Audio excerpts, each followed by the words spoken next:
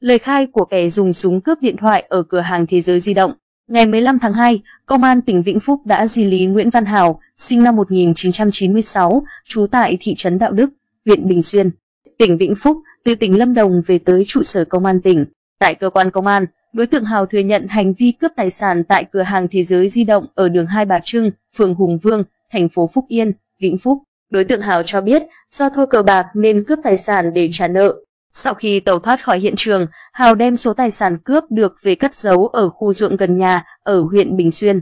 Sau đó, Hào đến sân bay nội bài mua vé bay chuyến sớm nhất ngày 14 tháng 2 để vào thành phố Đà Lạt. Khi đi, Hào mang theo một vài chiếc điện thoại vào thành phố Đà Lạt bán lấy tiền tiêu xài.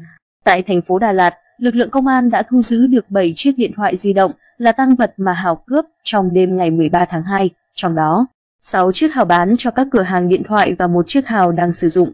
Trước đó, tối ngày 13 tháng 2, cơ quan cảnh sát điều tra công an tỉnh Vĩnh Phúc tiếp nhận tin báo tội phạm của công an thành phố Phúc Yên về vụ việc. Cụ thể, khoảng 21 giờ 30 phút cùng ngày, tại cửa hàng Thế giới di động ở đường Hai Bà Trưng xảy ra vụ cướp tài sản. Đối tượng sử dụng súng đe dọa hai nhân viên của cửa hàng rồi cướp đi 35 điện thoại di động. Các loại trị giá khoảng 441 triệu đồng và 65 triệu đồng tiền mặt. Sau đó, nghi phạm lẩn trốn vào thành phố Đà Lạt, tỉnh Lâm Đồng. Trưa ngày 14 tháng 2, nhận được tin báo từ Công an tỉnh Vĩnh Phúc, lãnh đạo Công an tỉnh Lâm Đồng đã chỉ đạo các đơn vị nghiệp vụ truy bắt nghi phạm.